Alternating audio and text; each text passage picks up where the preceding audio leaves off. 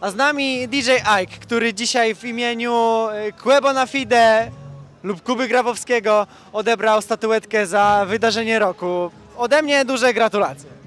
No wiesz, to jest zasługa bardzo wielu osób, bo przy tym e, pracowała masa ludzi, od osób, które się zajęły, wiesz, reżyserią, e, przez osoby, które się zajęły m, tym, jak to będzie wyglądać wizualnie, kostiumy, e, cała organizacja, logistyka, no charakteryzacja oczywiście, no plus równoległa trasa, e, czyli trasa Jakub on Stage, która wystartowała w zasadzie w tym samym momencie, w którym mieliśmy tę dużą trasę, więc te rzeczy się działy tak naprawdę jednocześnie, przeplatały się.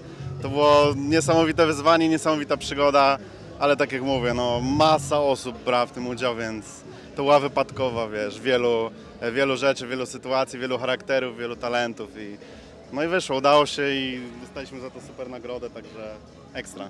Tak, piękna statuetka. Zapytam, ile stresu, ile nieprzespanych nocy, ile poświęcenia kosztowało Was e, to wszystko? Trudno mi się wypowiadać za innych. Jakby no, no, to, była, no to była tyrka ciężka naprawdę i e, tutaj nie było miejsca na jakieś, wiesz, e, na jakieś półśrodki czy na, e, wiesz, robienie tego na półgwiska. No, stwierdziliśmy, że albo robimy to na grubo, albo w ogóle tego nie robimy.